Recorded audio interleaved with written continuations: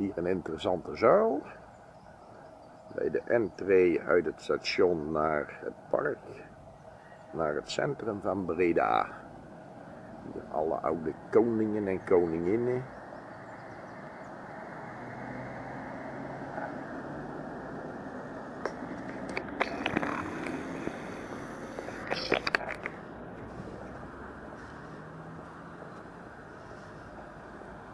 De historie van Wilhelmus van Nassau vanaf 1404.